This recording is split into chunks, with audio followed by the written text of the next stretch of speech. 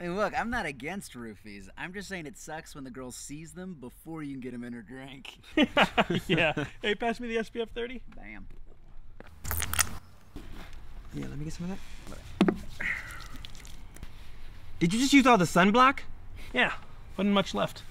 Are you serious? Whoa. Pardon my intolerable lack of understanding of the African American community, Clayton, but I personally have never seen a sunburnt black guy. What do you need sunscreen for? I need it for the same reason you guys do. Come on. If I don't wear the sunblock, I'm gonna get bright red. Pink, even. I might not get red or pink for that matter, okay? But I will get blacker. Please, Clayton. I doubt you could possibly be any blacker. Guys, I'm serious, okay? I need sunblock.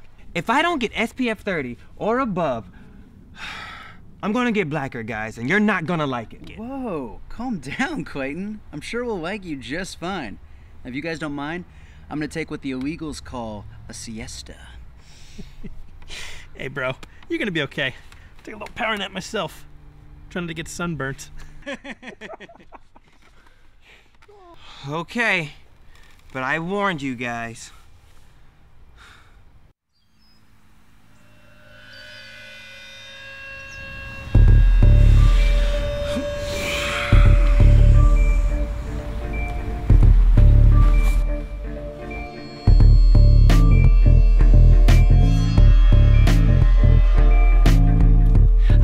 Motherfuckers if I ain't getting any sunscreen, a nigga was gonna get blacker than a motherfucker.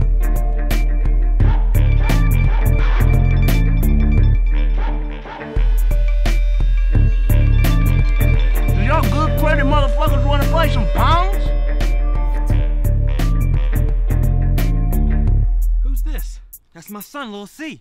I didn't even know I had that motherfucker.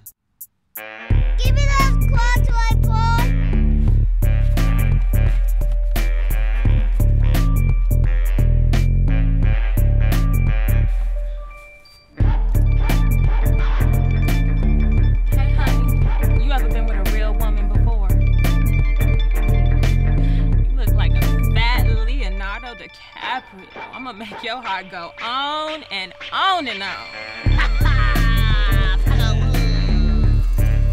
this is the party. We should have given him the sunblock.